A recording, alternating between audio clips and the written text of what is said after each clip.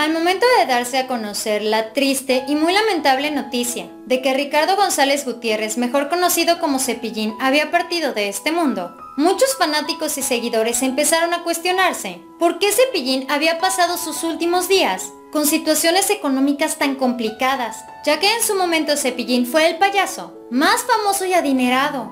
Entre 1970 y 1980 no había en el país un payaso que fuese más famoso que Cepillín. Todo el país lo conocía. Cepillín estaba en cada rincón. Esto por supuesto le trajo grandes sumas de dinero. El cómico infantil realizó varios programas de televisión, grabó más de 15 discos y vendió todo tipo de productos relacionados con su imagen.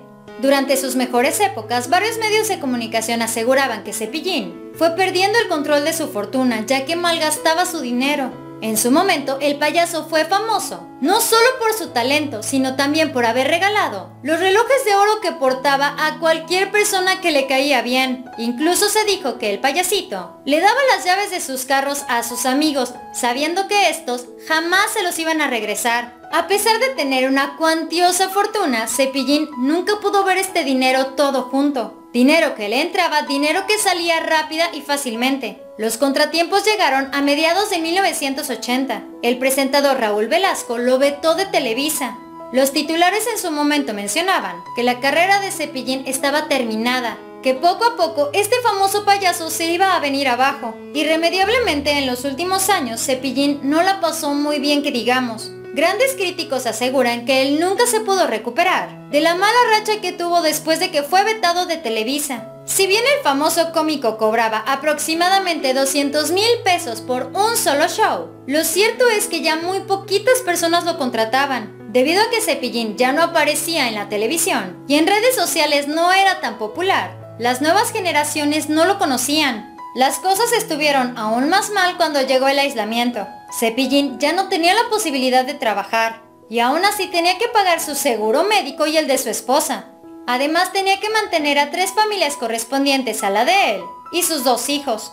Para colmo de males, Ricardo González también tenía demasiadas enfermedades. Una fractura de vértebras lo obligó a estar internado en el hospital. Después de la intervención, sus defensas bajaron muchísimo. Su cuerpo ya no pudo más y lamentablemente perdió la vida. Si bien Cepillín tenía su seguro de gastos médicos, tal cobertura no fue suficiente, pues además de la operación de cervicales, él tuvo que pasar varios días en terapia intensiva, debido a que tuvo una muy, muy fuerte neumonía. Otra de las cosas que también desanimó bastante al payaso fue que le detectaron en un tejido una enfermedad terminal.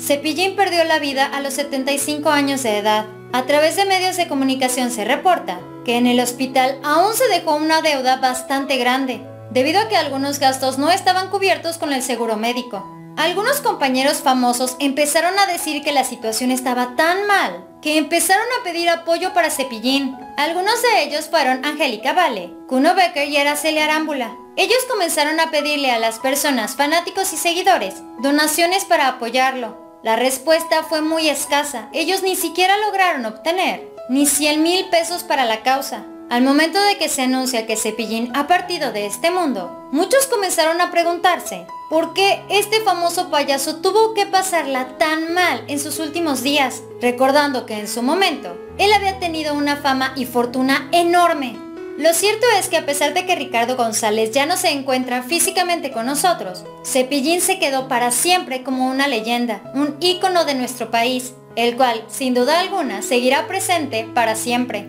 Esto fue Famosos de Cerca. Dale like a este video y no te vayas sin antes suscribirte a nuestro canal de YouTube dando clic aquí abajo, al igual que seguirnos en nuestra página en Facebook. Espero que tengas un excelente día. Nos vemos muy pronto.